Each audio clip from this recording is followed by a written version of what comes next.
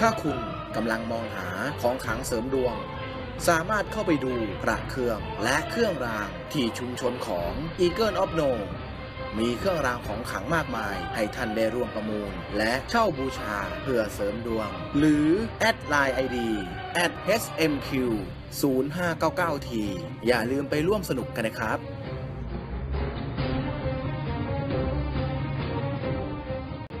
พบกับพุทธคุณดี ของขังเด็ด เครื่องรางครบเซตกับ Eagle of No สวัสดีครับ พบกับ Eagle of No กันอีกครั้ง วันนี้เราจะนำเสนอเรื่องอะไรนั้น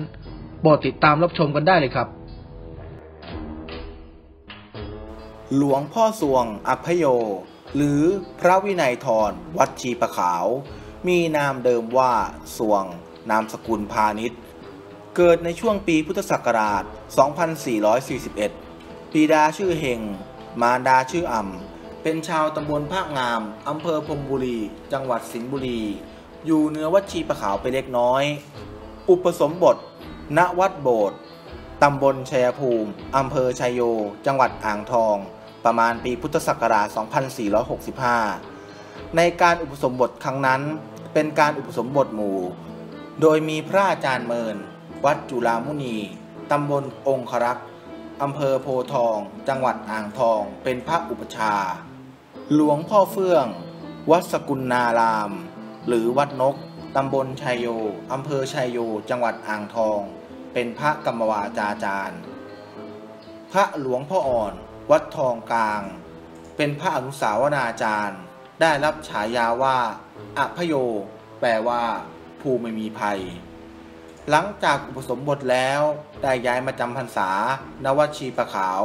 จนกระทั่งท่านมรณภาพเมื่อวันที่ 18 กรกฎาคม ปีพุทธศักราช 2510 ตรงกับวันอังคารขึ้น 12 ค่ำเดือน 8 ด้วยโรควัณโรค ที่โรงพยาบาลจังหวัดสิงห์บุรีสิริรวมอายุได้ 69 ปี 45 พรรษา หลวงพ่อสวงได้รับการถ่ายทอด การฝึกกรรมฐานเบื้องต้น จากพระอาจารย์คำวัดสิงห์ตำบลผ้างาม อำเภอพรมบุรี จังหวัดสิงห์บุรี นอกจากเรียนกรรมฐานเบื้องต้นแล้ว หลวงพ่อสวงยังได้เรียน การทำธงพระฉิม และการสักยันต์บุตร ลบอีกด้วย หลังจากนั้นได้รับคำแนะนำจากพระอาจารย์คำให้ไปเรียนวิชาอาคมเพิ่มเติมจาก หลวงพ่อแป้นวัดเสาธงทองอำเภอบางปะหัน จังหวัดพระนครศรีอยุธยา เนื่องจากพระอาจารย์คำวสิงห์ได้เคยมาเรียนวิชาบุตรและลบ และวิชาแพทย์แผนโบราณ ตลอดจนคาถาอาคม กับหลวงพ่ออ่ำวัดวงคล้อง และได้รู้จักกับหลวงพ่อแป้น หลังจากหลวงพ่อสวง ได้ฝากตัวเป็นศิษย์หลวงพ่อแป้นแล้ว ก็จะเรียนวิชาอาคมต่างๆ จากหลวงพ่อแป้นจนหมดสิ้น หลังจากนั้นหลวงพ่อสวงก็ได้รับคำแนะนำจากหลวงพ่อแป้น ให้ไปเรียนวิปัสสนาและวิชาอาคมเพิ่มเติม กับหลวงพ่อฤทธิ์วัดบ้านสวนหรือวัดน้อยตำบลบ้านสวนอำเภอเมือง จังหวัดสุโขทัยนอกจากเรียนวิปัสสนากรรมฐานจากหลวงพ่อฤทธิ์แล้ว ยังเคยได้เรียนวิชาทำแหวนชิน หรือแหวนหูมุง้ง และการทำยาเปรี้ยวอีกด้วย แม้แต่สมเด็จข้างอู่ของท่าน ก็ได้นำเคล็ดวิชาของหลวงพ่อฤทธิ์มาใช้ โดยอะและอุนี้เป็นการลงวิชาอย่างหนึ่ง อีกในหนึ่ง มีผู้กล่าวคำว่าอะบนพระสมเด็จนั้น แทนตัวท่านซึ่งมีนามว่าอะพโย ส่วนคำว่าอุนั้น แทนตัวอาจารย์ท่านคือ อุตตโมนั่นเอง พระเครื่องที่ท่านสร้างมีประสบการณ์มากมายทุกด้าน ไม่ว่าจะเป็นเมตตา แขวคาดและคงกระพันโดยท่าน จะเสกวัตถุมงคลส่วนใหญ่ภายในกุฏิของท่าน หลังจากที่ท่านทำวัดสวดมนต์เช้า และเย็นเป็นประจำทุกวันมิได้ขาด ยกเว้นกรณีที่มีเลิกพิเศษ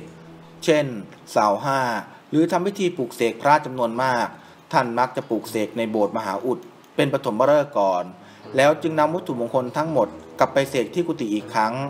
โดยท่านจะนำพระทั้งหมดใส่บาตรไว้ ปลุกเสกทุกวันจนท่านมั่นใจดีแล้ว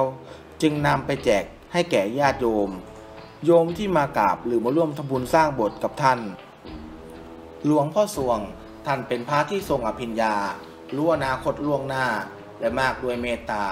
แม้กระทั่งอีกาท่านยังเลี้ยงให้เชื่องโดยอีกาตัวนี้มีชื่อเรียกว่าแขก สมัยยังมีชีวิตอยู่ เมื่อท่านฉันข้าวบนศาลา จะมีอีกามากินข้าว และอาหารจากมือท่านเป็นประจำ และท่านยังสามารถเรียกมันได้อีกด้วยญาติโยมแถววัดชีประเขาในสมัยนั้น ต่างก็รู้เห็นเรื่องนี้กันทุกคน หลวงพ่อสวงท่านเป็นผ้าสมถะ อยู่และฉันอาหารอย่างง่ายๆ ไม่ยึดติดในลาบยศ แม้แต่ตำแหน่งพระครูและพระอุปชา ที่พระราชสิงหวรามุนี หรือหลวงพ่อทรัพย์วัดสังคาราชาวาส จะมอบให้ท่านยังไม่รับ เนื่องจากหลวงพ่อทรัพย์เลื่อมใสในวัดปฏิบัติของท่าน จึงขอร้องให้ท่านรับตำแหน่งพระวินัยทรซึ่งหลวงพ่อส่วงท่านก็ต้องจำใจยอมรับด้วยความเกรงใจ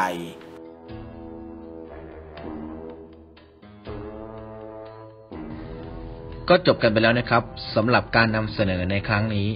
ในคลิปต่อไปเราจะนำเสนอเรื่องอะไรนั้น โปรดติดตามกันด้วยนะครับ ถ้าชอบ โปรดกดไลค์ ถ้าถูกใจ โปรดกดแชร์ ถ้าไม่อยากพลาดคลิปใหม่ๆ โปรดกด Subscribe อย่าลืมกดกระดิ่งกันด้วยนะครับ เพื่อจะได้เป็นการแจ้งเตือนการอัปเดตคลิปมาใหม่